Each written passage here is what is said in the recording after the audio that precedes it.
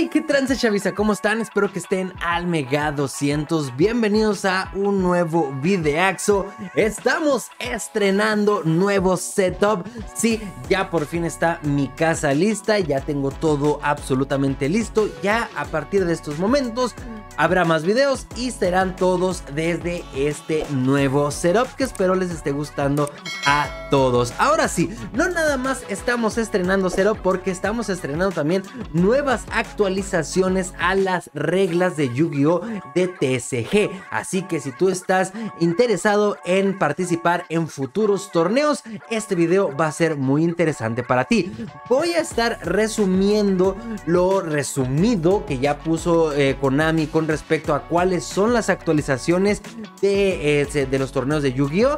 Y voy a estar resumiendo eh, de eso, pero si tú quieres leer de manera eh, concisa el resumen, o mejor dicho, las reglas en general, te voy a dejar el link a ambas en el primer comentario de este video, ahí fijadito, para que tú le des clic y bueno, pues puedas leerlo todo de manera más a gusto, porque yo voy a estar resumiendo un poco, pues, en este video, pues lo que son esas reglas para que no sea un video tan largo. Así que sin nada más que agregar, muchísimas gracias por darle click a este video. Muchísimas gracias por esperarme en que no estuve subiendo videos tan pronto o tan seguidos. Ya después les voy a estar mencionando qué fue lo que pasó. Y bueno, pues muchas gracias por dejar tu like, tu suscripción, darle click a la, a la campanita y todo este tipo de cosas para que el algoritmo de YouTube nos ayude a todos. Vámonos pues con el resumen de las reglas nuevas de Yu-Gi-Oh!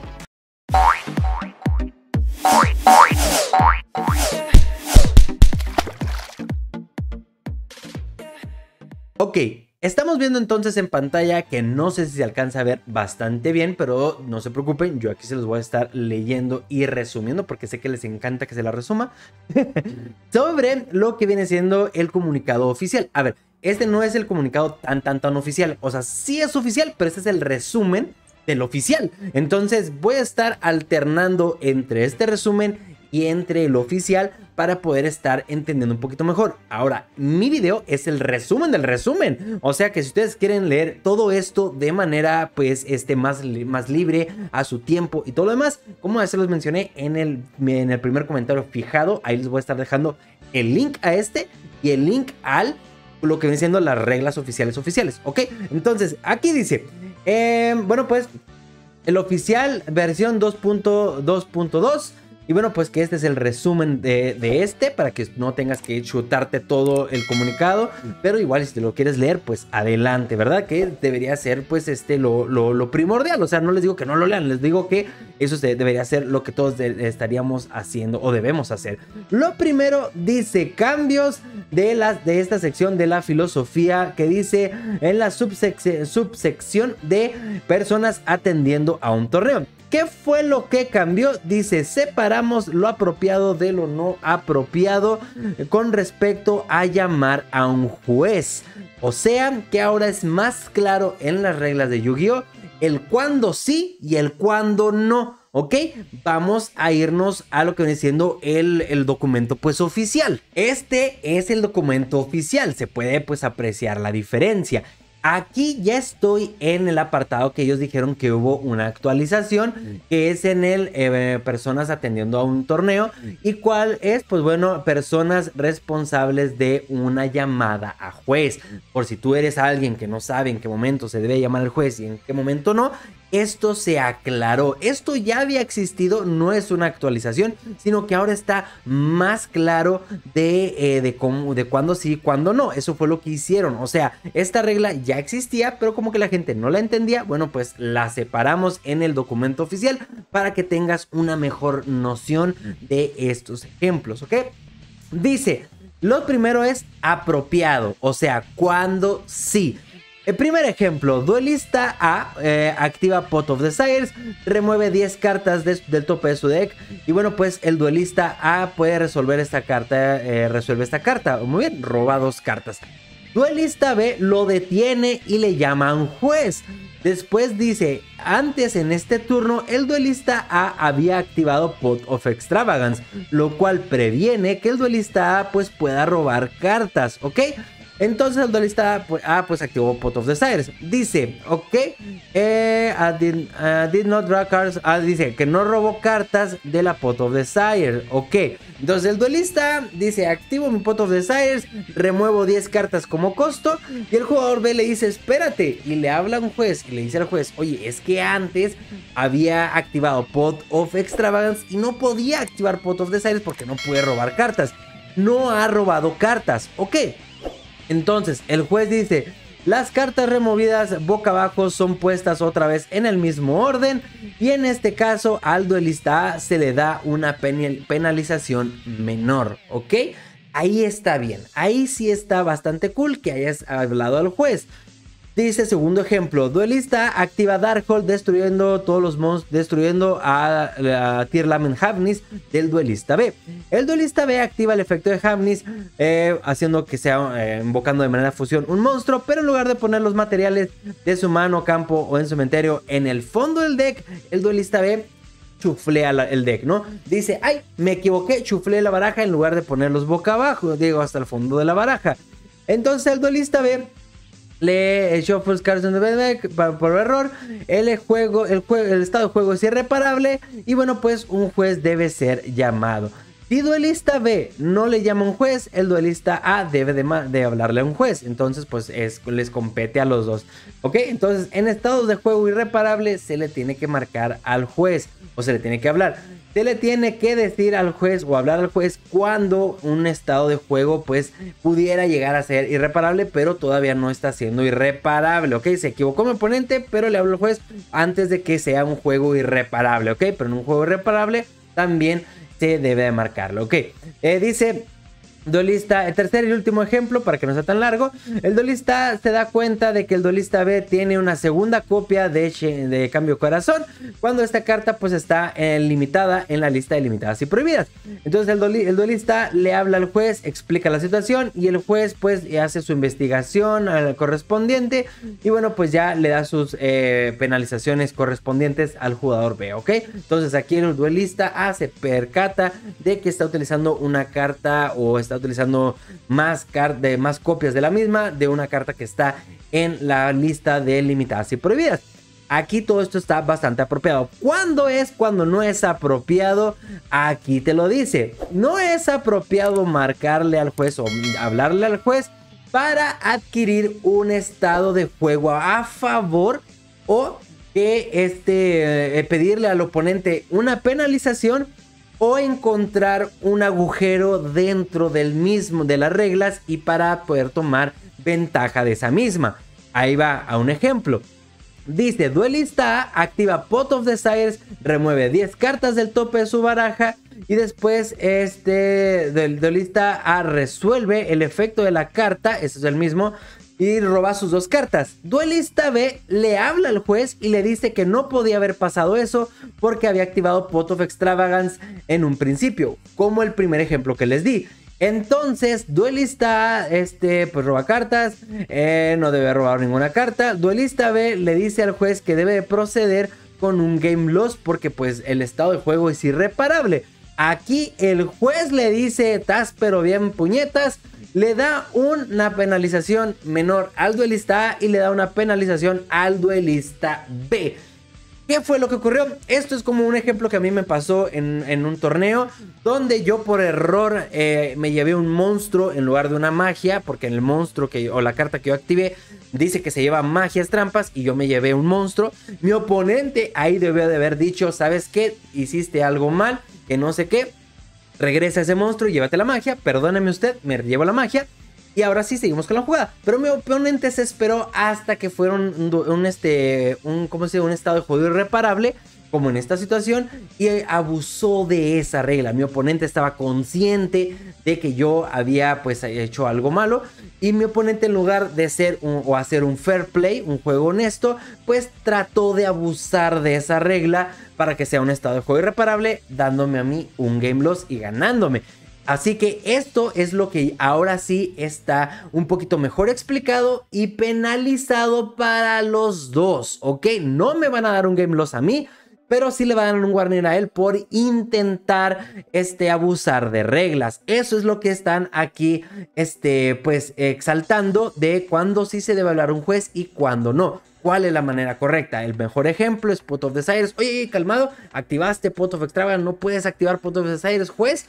Todavía no roba sus dos cartas, no pasa nada, se regresan las cartitas a gusto. Pero si yo me espero a que el oponente robe dos y yo digo, es que él había activado Pot of Extravagance, yo estaba consciente entonces de lo que estaba sucediendo y es un warning para él y para mí en lugar de estar pidiendo yo un game loss o en lugar de estar pidiendo yo este pues algo como eso.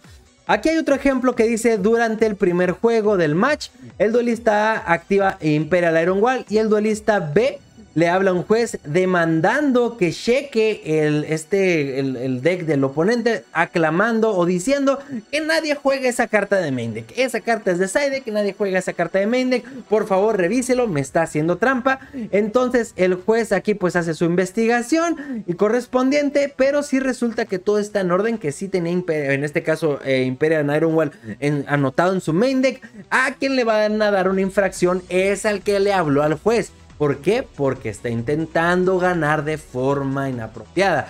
El jugador A, pues obviamente no tiene por qué exigir que el oponente tenga un game loss o cualquier penalización, solo porque yo en YouTube había visto que todo el mundo juega Imperio igual de side deck y mi oponente dijo, pues yo voy a ser innovador y la juego de main deck, entonces es como que, o sea, no, no, no, todo el mundo la juega de side deck, o sea, claro que no, cada quien es libre de utilizar su baraja como quiera y siempre y cuando esté anotada de manera correcta, pues no debe haber ningún problema. Ahí, por ejemplo, el jugador B, pues intentó hacer algo ilícito, pues por eso le dan una, un warning a él. Sí puedes pedir tu deck check eh, al oponente, pero sabiendo que si te equivocas te pueden dar un warning. Así que esas son las eh, lo que se actualizó o lo que se puso más claro en cuestiones de cuándo sí y cuándo no llamarle a un juez. Ok, otra cosa de lo que vamos a hablar con respecto a estas actualizaciones es esto que ya puse aquí, este, bueno, ya se quitó, pero esto que voy a estar aquí señalando, el cual es los malentendidos. Como dice ahí, misrepresenting eh, the game state. Ya se hicieron, bueno, se pusieron ejemplos más claros para que la gente tenga mayor noción de cómo se van a estar llevando malentendidos. Porque sí, muchas veces los hay en el juego de Yugi. Y bueno, pues para esto se crearon estas reglas, ¿ok? A veces, a veces se, no se da la buena comunicación y sabemos que Yu-Gi-Oh es indispensable la buena comunicación con el oponente, así que cuando hay estos malentendidos ya puede haber alguna sanción. ¿Cómo serían? Vamos a ver. Ok, aquí están unos ejemplos de algunos malentendidos que tengo que mencionar que aquí dice que los malentendidos del juego se pueden considerar como una conducta de no de no no este cómo se dice no de no no no fair o sea conducta antideportiva ya se me acordó conducta antideportiva o o trampa por eso, estas conductas pueden llevar alguna penalización correspondiente a la sección 4 de la letra H para eh, de sección 4 para que puedas este, estar este, viendo qué onda. Ahorita lo vemos. Por ejemplo, un malentendido, dice duelista, un duelista, duelista A pregunta eh, aquí dice a duelist, entonces debería decir duelist E, o sea, puede ser una mal, o sea, se puede traducir de manera eh, mala, pero el duelista A pregunta al oponente cuál es la defensa del Blue Eyes White Dragon. El oponente intencionalmente o por, por la cábula, por reírse, dice 1500 de defensa, ¿no? Entonces el, Blue Eyes no tiene 1500 de defensa.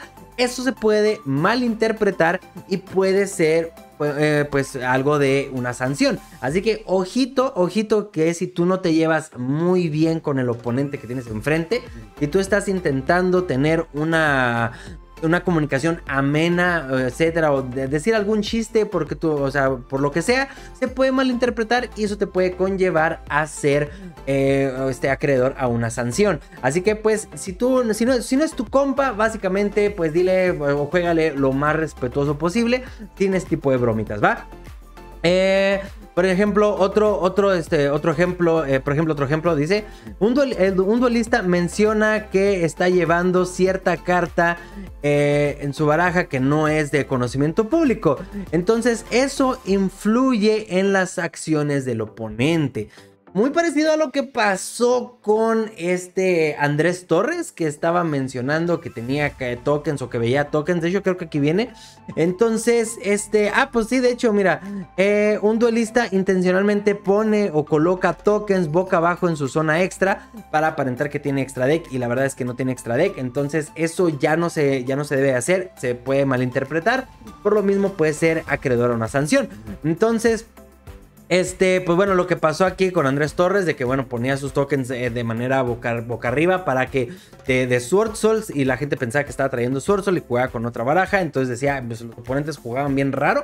Y bueno, pues eso le corresponde a su oponente, pero eso se puede malinterpretar. Así que mejor no lo hagas, no, no, no, no tengas esas acciones, evítate pues el que llegues a tener una sanción. ¿Ok? Otro ejemplo, por ejemplo, eh, otro ejemplo, por ejemplo, sigo con eso, es eh, un malentendido muy común que se da. Por ejemplo, aquí dice un duelista responde eh, a, una, a, una, pregunta del oponente con una, una respuesta pues, este, pues, mm, se puede malentender o con una expresión facial que este, pueda ser algo de bait. O sea, eh, tienes este Nibiru, o, no sé, tu oponente hace cualquier cosa, no, bueno, no puedes preguntar Nibiru, ¿verdad? Pero preguntas cualquier cosa y que tu oponente te diga, mm", o te haga un gesto así como que, no, no sé, un gesto que tú puedas malinterpretar puede ser eso acreedor a una sanción. Así que mucho ojo, recuerden que siempre tenemos que tener el juego de manera honesta.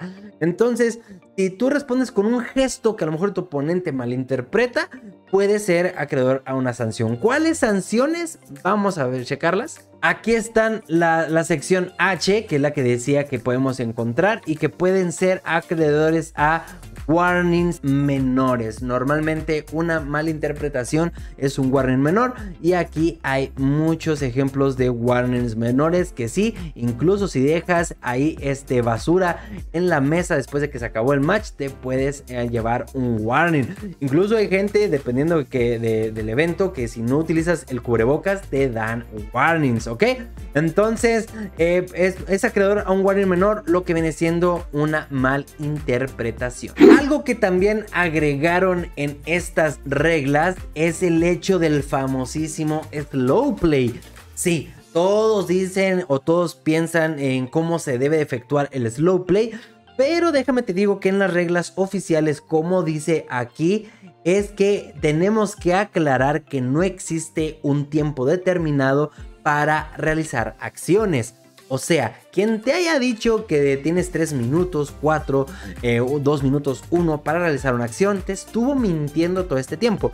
Acorde a las reglas oficiales de Konami, no hay un tiempo estimado. Que debería de haberlo, pues sí, pero de momento no lo hay. Sin embargo, nos dieron nos están brindando ejemplos ya actualizados, como dice aquí, para que tengamos una mejor noción acerca del slow play, que nuevamente el slow play puede ser acreedor de este de warnings menores o depende de ya los jueces de o si la constancia de, de, gente quejándose de esa persona, pues ya puede ser acreedor a warnings mayores. Así que vamos a ver algunos ejemplitos de lo que viene siendo del slow play en el mundo yu que yo creo que mucha gente tiene duda de esto. Y aquí está, entonces la penalización el slow play, como ya se los dije, es de un warning menor. Aquí lo que viene. ¿Cómo podemos ver esto? Pues dice, un, duelista está excesivamente eh, buscando eh, searching his deck with an appropriate effect and does not appear to be doing so intentional.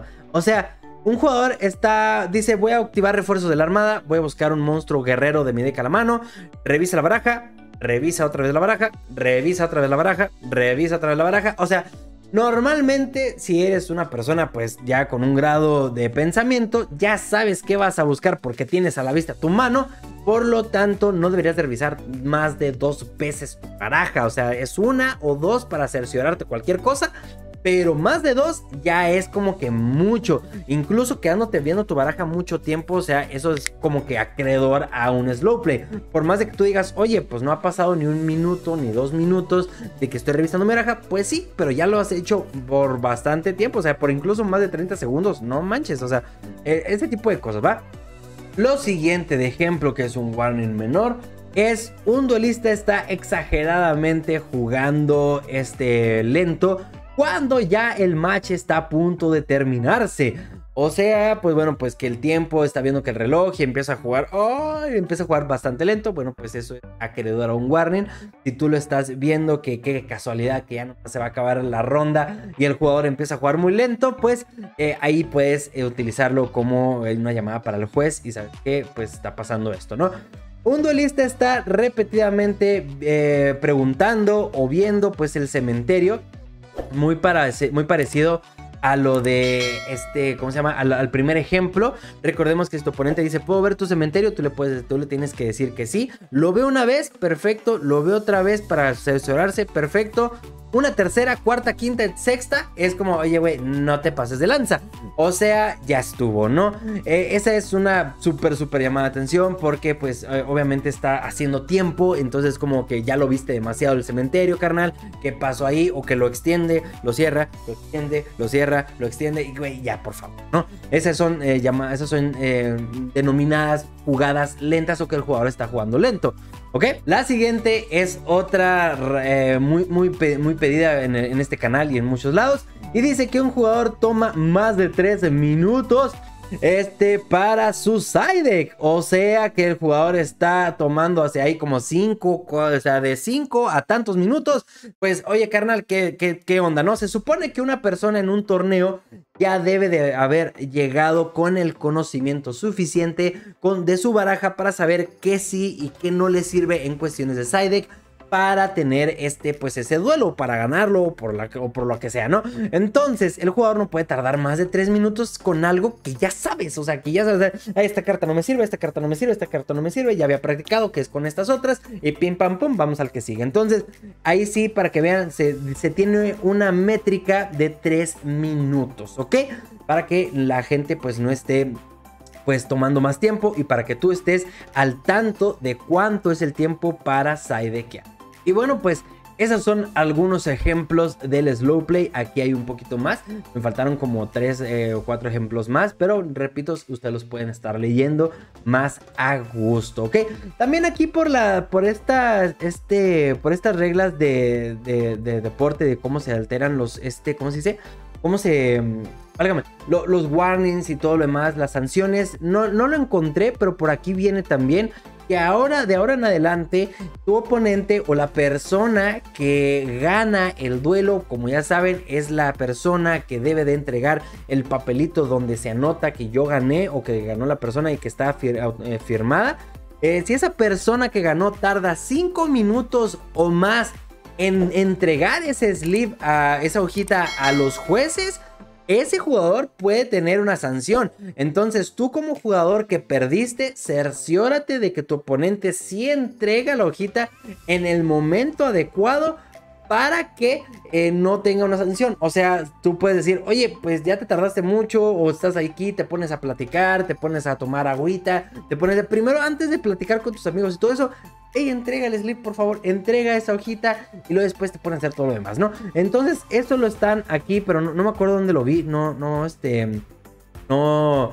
No, no, me acuerdo dónde lo vi, pues. Entonces, de todas formas, aquí está la hoja y tiene el link para que ustedes lo puedan leer y vean acerca de esa eh, nueva regla, por así decirlo, o esa aclaración de regla, donde el jugador que ganó debe de entregar la hojita en menos de 5 minutos para evitar atrasar el torneo. Y lo último de lo que hablaré en este resumen del resumen, que madre mía, yo creo que va a durar mucho este video, es acerca de las suspensiones o sanciones que se le pueden dar a los jugadores incluso no, eh, no están dentro del torneo. O sea, estas personas pueden ser, o por estas acciones puedes tú recibir una penalización, como incluso que te entres en la lista de jugadores prohibidos, cuando incluso no estás en un evento oficial. O sea, que tú haces estas acciones que las vamos a ver y la gente pues ahí está penalizando o se, llega la información o cualquier cosa, puedes ser acreedor a que te estén baneando del mundo de Yu-Gi-Oh por cierta cantidad de tiempo. Así que esto se actualizó aquí en esta lista y es la que vamos a estar revisando. ¿Cuáles son esas eh, acciones eh, te pueden llevar a la sanción cuando estás fuera de un evento oficial de Yu-Gi-Oh! Muy simple. El primero es el acoso. Estés acosando constantemente a una persona dentro de un torneo o fuera de este mismo puede llevarte una sanción. Eh, haciendo lo mismo, o sea, acosando, pero a un juez o a personal de Konami. Eh, crear un contenido o crear este, sí, crear contenido en línea, ya sea un canal de YouTube, este, no sé, cuentas de, Facebook, etcétera, no sé, algún, algo, crear contenido digital que sea para acoso o seleccionar a una persona para ello mismo. Así que si tú estás eh, interesado en hacer un canal de YouTube de Yu-Gi-Oh correspondiente a tirarle hate a cierto creador de contenido, pues déjame te digo que te van a estar baneando, ¿ok? Este, aparecer en el registro de este de, acoso sexual eh, estar arrestado o que han arrestado y estar en el este, incriminado o estar con algo de crímenes. Hacer amenazas, making threats. Así que si tú, si tú eres de los que amenaza, pues déjame te digo que no vas a poder hacer nada. O sea, te veo en el torneo de Yu-Gi-Oh! para darte en tu madre. Pues bueno, pues estás ahí amenazando. O en el mismo torneo vamos a salirnos para darnos de golpes. Entonces, este, todo eso no, no se vale. Hacerte pasar por un empleado de Konami también te va a hacer acreedor a un baneo. Em, publicidad, todo esto es lo mismo. Así que si tú eres de las personas que hace pues eh, publicidad o lo que es un, este, un link, o, digo leak, o sea, si tú se filtra algo y tú haces algo acerca de ese leak, si, eres, si la persona que hace el leak o la página que muestra algo que se filtró, pues esa, página o esas personas van a estar baneadas y así como las personas que se van a estar remunerando acerca de eso. O sea, que tú subas algo de, mira, se filtró esto y subes un video o lo que tú quieras, bueno, pues también eso, ¿ok? Eh, lo otro es admitir que hiciste trampa, que robaste, etcétera, en un torneo oficial. Eh, si te, a ti te hacen un deck profile, vamos a suponer que hagas deck profile, hiciste top 8 en no sé dónde, ¿no? En fulanito, hiciste top 8 ahí, haces deck profile y en ese deck profile dices, no manches, todo el mundo eh, jugaba esta carta y todo el mundo pensaba que esto y pues obviamente tomaba, o sea, ya de ahí estás admitiendo y eso pues va a ser acreedor y eso ya lo habíamos hablado anteriormente en este video, ¿ok? Y lo último, pues obviamente el este, counterfeiting, o sea, el falsificar lo que viene siendo cartas, accesorios de, Konami, etcétera. Todo lo que sea falsificable, pues te va a hacer acreedor al ban instantáneo en el mundo de Yu-Gi-Oh! Así que esas son las cositas que te pueden llevar a un ban. Que no que son cosas que te pueden, son acciones que te pueden llevar al ban incluso cuando no las haces en un torneo oficial, ¿verdad? Entonces, mucha, mucho cuidado con eso. Ah, se me olvidó decir esto, el ciberbullying, ciberbullying, así que eh, ya todo eso está siendo muy, pero muy penalizado hoy en día en el mundo Yu-Gi-Oh! Y no nada más en el mundo Yu-Gi-Oh! sino que en el mundo en general. Así que ciberbullying van para atrás. Y bueno, pues son acciones que sí te recomiendo que las evites de ahora en adelante. Si lo que quieres es seguir eh, pues estando en torneos de Yu-Gi-Oh! ¿Ok? Entonces Chavaiza, pues esas fueron eh, el resumen de las reglas. Yo sé que este video tal vez duró muchísimo, pero si me ponía a hablar de todo en general, pues va a tardar muchísimo más este video. Así que te Diego nuevamente en el, en el, este, como en el comentario fijado en la parte de abajo, pues estarán los links para que tú leas de mejor forma todo correspondiente a las reglas y bueno pues sepas que está bien, que está mal cuando quieras atender a un torneo de Yu-Gi-Oh! Entonces ahí están, espero te haya gustado este video, espero te haya gustado que ya regresamos por fin, ahora sí que se vienen los videos locochongos. Y bueno pues eh, de ahí en más Espero que te la pases muy bien en este día. Recuerda dejar tu like, tu comentario, tu suscripción y todo eso para más videos. Así que nos vemos en la próxima. Recuerda que solamente esto es un juego y nada más. Así que siempre hay que divertirse. Tenemos setup nuevo y vaya forma de estrenarlo. Bye bye.